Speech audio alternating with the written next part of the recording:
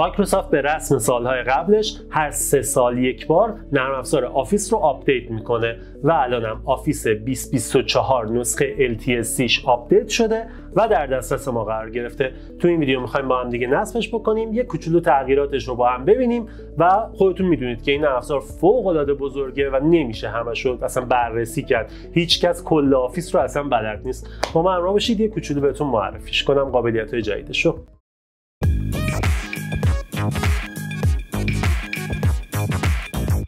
سلام من کابینه اینجا کانچاره کامپیوتره و می‌خوایم بریم آفیس 2024 رو با هم دیگه نصب و یه کوچولو بررسیش بکنیم. اول از همه بگم نصب آفیس 2024 اینجا امکان پذیر نیست. خودتون می‌دونید. من نمی‌تونم آموزش نصبش رو اینجا براتون بذارم. اینکه از کجا دانلودش بکنید و چجوری نصبش بکنید یه ویدیویی که لینکش رو داخل توضیحات واسهتون گذاشتم اونو جداگونه منتشر می‌کنم. اگه می‌خواید یاد بگیرید نصبش رو باید از اونجا ببینید. هم جاشو بهتون گفتم هم کامل روش نصب رو گفتم.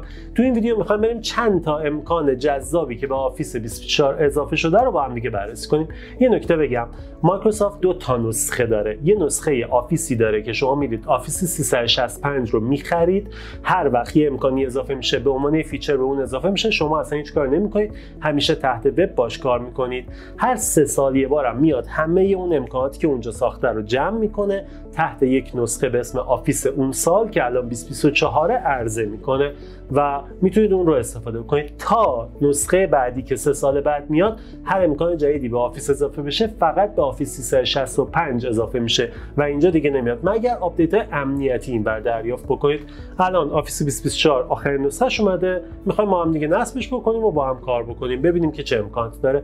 دوباره تاکید می‌کنم کلی امکانات هستش که نمیشه تو این ویدیو بررسی کرد و گفت من فقط چند تا چیز ظاهری و خوشگلی که اضافه شده رو بهتون معرفی می‌کنم. بریم شروع کنیم. اولین و یکی از مهمترین تغییرات دوباره کم کردن تعداد نرم افزارهاست مایکروسافت داره تعداد نرم افزارهای بسته آفیس رو که به صورت یک جا میفروشه کم می‌کنه و اونا رو به آفیس 365 منتقل می‌کنه. توی 2021 هم این کار کرده بود الانم دوباره ادامه داده. دو تا نرم افزار کامل هست شده. یه نرم افزار Publisher ه که کلا هست شد رفت روی آفیس 365 و نرم افزار مایکروسافت Teams هم دیگه به صورت جداگونه فروخته میشه و اصلا داخل setup آفیس وجود نداره. مایکروسافت Teams رو می‌تونید نصب بکنید و license رو بگیرید و استفاده بکنید. پس دو تا نرم افزار هست شده. قبلا هم دیده بودیم نرم افزار دیگه هست شده بود و الان سرجمع توی آفیس کامل ما 8 تا دونه نرم افزار مونده. Word Excel PowerPoint Outlook جدید. OneNote و Access این 6 تایی که با بسته آفیس نصب میشه. دو تا نرم افزار یه مایکروسافت Project و یه مایکروسافت Visio هم به صورت جداگونه وجود داره که من تو آموزش نصب بهتون نشون دادم. می‌تونید اگه خواستید اونها رو هم نصب بکنید. پس نرم افزارا داره تعدادشون کم میشه. این مورد اول. مورد دوم همین قیافه جدیدیه که می‌بینید. وقتی وارد tab account بشید اینجا Office theme رو می‌تونید عوض بکنید. قبلا تمایی که وجود داشت فقط تم این colorful رو داشتیم ما که این بالا رنگی بود و بعد یه theme black هم اضافه کرده بود. ولی این theme black واقعا خیلی دیگه black ه. من واقعا این dark gray که جدید اضافه شده رو خیلی دوستش دارم و به نظرم جذابه. theme white هم داره که کلا دیگه white باشه. یا اینکه بذارید از setting ویندوزتون بخونه. من setting ویندوزم dark ه. واسه همین از اون می‌خونه. ولی من این dark gray رو ترجیح میدم و بیشتر دوستش دارم. همه نرم افزار آفیس این قیافه جدید رو به دست آوردن. مورد سوم دسترسی پذیری سازگار پذیری اینجور چیزا ترجمه میشه. قضیه چیه؟ بذارید نشونتون بدم فرض کنید که شما یه دونه فایل اکسل یا هر چیزی تو هر کدوم از نرم افزارها درست کردید و یه فایلی داخلش گذاشتید. یه چیزی گذاشتید که قابلیت خانایی یا دسترسی پذیری خوبی نداره. مثال بزنم واسهتون. من میام اینجا عکس اضافه می‌کنم. و می‌خوام این فایل رو برای یک نفری بفرستم. حالا ببینید اگه بیاید قبل از اینکه فایلتون رو ارسال کنید توی tab review check accessibility رو انتخاب بکنید می‌تونید بگید آقا برو اینو چک کن. نگاه کنید چک کرد و میگه آقا این عکسی که گذاشتی alt نداره. پس اگر کسی توانایی دیدن نداشته باشه درست نمی‌تونه بفهمه این عکس در رابطه با چیه. بیا براش یه description بنویس. خب یا این رو به عنوان یه decorative mark ش بکن. این خیلی جذابه دیگه. من می‌تونم برای این عکسم یه دونه description بنویسم مثلا بنویسم صفحه insert یا می‌ذارم insert menu که از این بعد معلوم بشه آقا این چی هستش. و این بار دیگه اینجا می‌بینید می‌زنه همه چیز درسته. حالا اگه شما font تون کوچیک باشه خوانا نباشه یا هر چیزی می‌تونه چک کنه checking هایی که انجام میده این چیزاست خودش.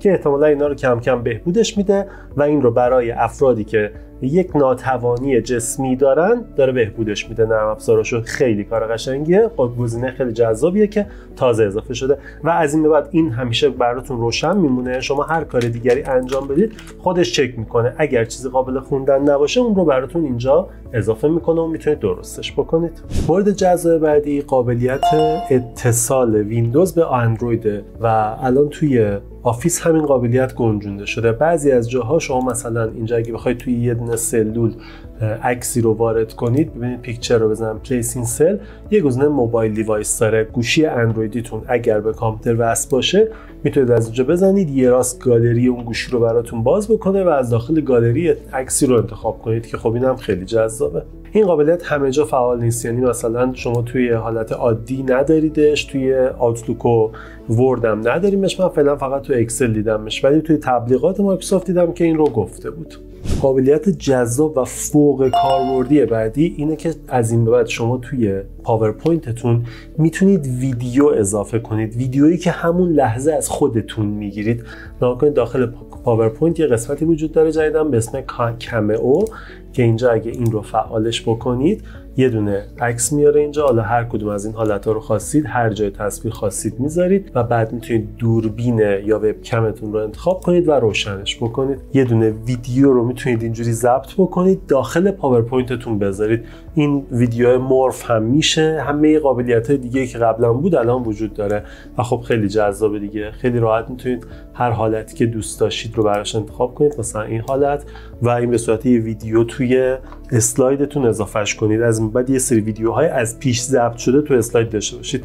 اینجا این رو به صورت ویدیو براتون اضافه می‌کنه. یه قابلیت جذاب دیگه که به پاورپوینت اضافه شده و دیگه تو دل خود پاورپوینت وجود داره قابلیت ضبط کردنه. شما می‌تونید از این بالا رکورد رو انتخاب کنید یا اصلا یه tab ی به اسم رکورد وجود داره و شما می‌تونید از همین اسلایدتون یا از کل پروژهتون از کل اسلایداتون فیلم بگیرید و این رو به صورت یه فیلم MP4 خروجی بگیرید. ببین اصلا من اینو گذاشتم می‌خوام از صفحه هم فیلم بگیرم. روی رکورد می‌زنم. همونجوری که یه صفحه برام میاره. اسلایدمو الان تو این یکی مانیتورم آورده برام من انداخته. این صفحه که اینجا می‌بینید رو من تو این یک مانیتور دارم می‌بینم. و نوتم این بالا می‌تونم داشته باشم بزنم ضبط بشه. هر کاری بخوام مثلا ببینید من می‌ذارم ضبط بشه. تست می‌کنیم دارم این این قسمت رو ضبط می‌کنم ببینم که چی میشه و بعد می‌تونم خیلی راحت خروجی ازش بگیرم. و اینجا جذابیتش اینه که ناکنید یه سری امکانات به من میده. مثلا می‌تونم بنویسم رو صفحه یا خیلی کارهای جذاب دیگر می‌تونم انجام بدم. کارم که تام شد استوب رو می‌زنم و ضبط انجام میشه. حالا می‌تونم روی export بزنم.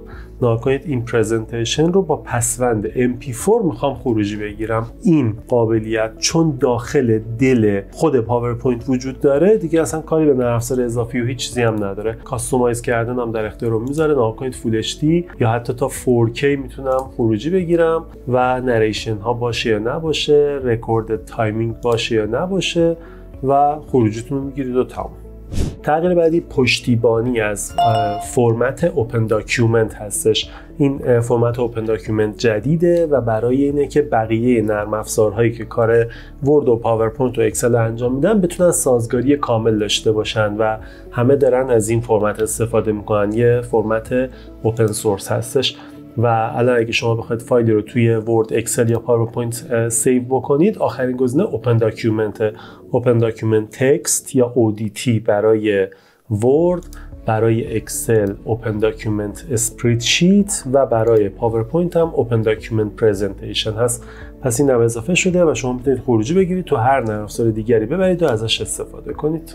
و کلی تغییرات ریز و درشت دیگه که انجام شده. مایکروسافت این document رو منتشر کرده. خودش اینجا یه سری از تغییراتی که اعمال شده و تو هر نرم افزاری کار می‌کنه رو گذاشته. یه سری از اون چیزایی که من گفتم رو از همینجا گفتم بهتون و من لینک اینو براتون می‌ذارم. می‌تونید ببینید که کلی قابلیت جذاب دیگه اضافه شده. خیلی قابلیت به اکسل اضافه شده. قابلیت خیلی باحال. پاورپوینت رو گفتم تقریبا بهتون. و مثلا قابلیت caption نوشتن برای پاورپوینت اضافه شده و کلی چیز دیگه. من لینک این صفحه رو براتون می‌ذارم می‌تونید ببینید. این میشه تغییرات آفیس LTSC 2024 که امیدوارم ببینید و به دردتون بخوره. اگر کار با مجموعه آفیس رو بلد نیستید یه search توی یوتیوب بکنید کلی ویدیو پیدا می‌کنید. توی کانال مقدماتی ما خودمون یه ذره آموزش داریم. رضای عزیز از کانال پویوتا آکادمی می‌دونم که تقریبا همه نرم افزاراشو کامل صفر صد یاد داده. می‌تونید اونجا رو ببینید یا اینکه search کنید آموزش مثلا ورد اکسل پاورپوینت اکسس هر چیزی search کنید کلی ویدیو فارسی و انگلیسی پیدا می‌کنید که بتونید با این نرم افزار کار بکنید. حتما توصیه می‌کنم که کار با آفیس رو یاد بگیرید. چون اگه بلد نیستید خیلی به دردتون می‌خوره. و واقعا بعضی وقتا یه ماژول ساده توی اکسل می‌تونه زندگیتون رو نجات بده. یه کاری که ساعت ها باید وقت میذاشید و میده تو اون خودش. خیلی راحت براتون انجام میده. همین. امیدوارم ویدیو رو دوست داشته باشید. امکانات جدیدم حال کرده باشید. باش. برید آفیس رو نصب کنید و ازش لذت ببرید. من علیشیر کاویانی هم اینجا کانال چاره کامپیوتر کانال چاره کامپیوتر رو فالو داشته باشید که این چیزا رو از دست ندید. فعلا خدا نگهدار.